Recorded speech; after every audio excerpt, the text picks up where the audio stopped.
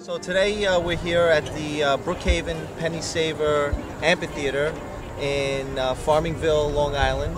Um, and Hanks Yanks is uh, taking on another community service uh, event. And we're here working with the Miracle League of Long Island. Um, I'm here with Christine Fitzpatrick, who is the president of the Miracle League of Long Island. Um, we have come in contact with the Miracle League of Long Island through Angela's house, uh, Mr. Bob Palacastro, who pointed us into their direction. And uh, we are so happy to be here as uh, Hanks Yanks is just adding another uh, event that they're so proud to be a part of and partner up with. And uh, we know that after today, uh, this is just the first of many events that we're going to be involved with with Christine and her organization. So, Christine. Oh, we're, we're thrilled to have you guys down here. Our, our league, as you know, um, is based for children with disabilities to play baseball. And um, because it's a non-competitive league, we enjoy having different buddies come down. Um, having you guys here today has just been so warming for the kids.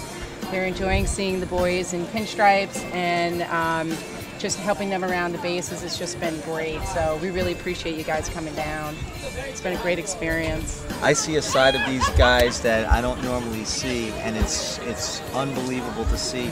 And on, on top of it, the the smiles on everybody's faces is it, it's it's priceless. It's magical. It's it, it's a miracle, and um, each week when the children come down, you can also see their confidence get built up and um, every week it's just something new. Today we had a, a, player that the first time in his life has ever actually smiled, and for all of us to be witness to that, it's just amazing. But again, it, it's organizations like yours that come down and help out the kids that help bring that energy to the field.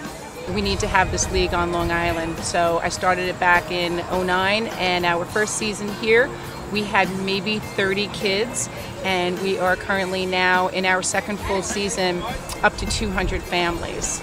So the league is just taking on a life of its own, and we're hoping by this time next year that we'll have about 300 players. I just I, I can't wait to see what, what's around the corner for us together, for Miracle League and Hanks Yanks together. This is great. Thank you. Thank you so much for coming down. Appreciate it. You're very welcome. Thanks.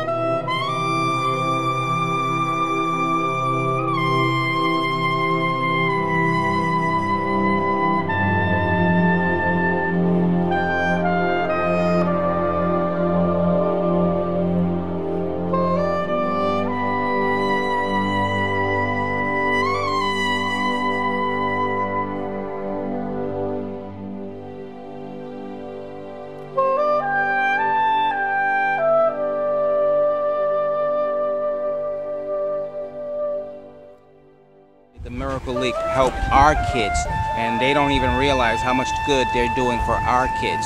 We're supposed to be normal? I don't know. Because to me, sometimes they look like the normal ones. Thank you.